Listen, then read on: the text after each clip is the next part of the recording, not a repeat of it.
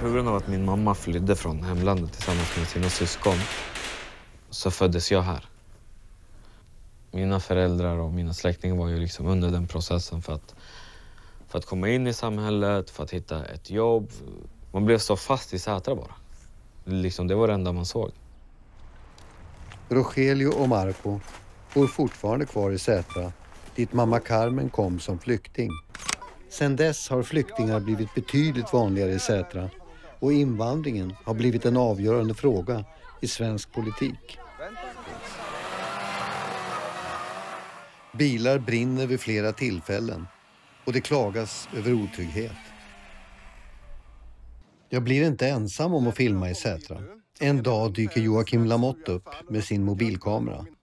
Och nu befinner jag mig alltså i Sätra, en stadsdel i Gävle. Hej! Roger Hedlund. Ja, hej. Sverigedemokraterna. Jag är riksdagsledamot från Gävle här. Så jag tror jag att Sätra är ett av de som kommer tillkomma på den listan som polisen har nu. Det känns som att många har kommit hit laddade med en massa agg.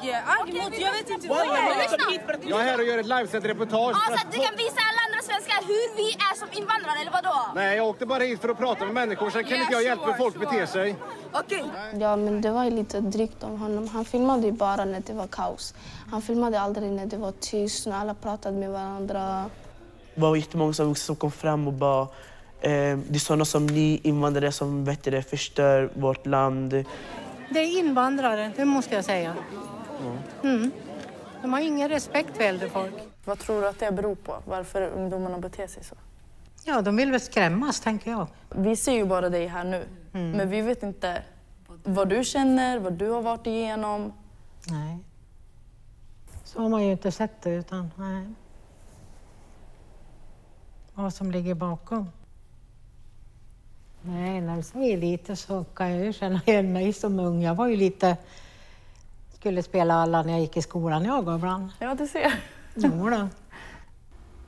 Jag har varit så inställd med min stolthet jag har, liksom att jag inte bryr mig om något eller någonting.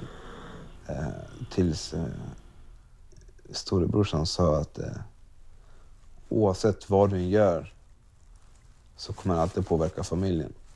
Men, men som sagt, man har oftast för, hört det så ah, men du måste agera och hit och dit och bla bla. Jo, men agerar jag nu med, med känslor då blir det bara skit. Låt oss förstå situationen.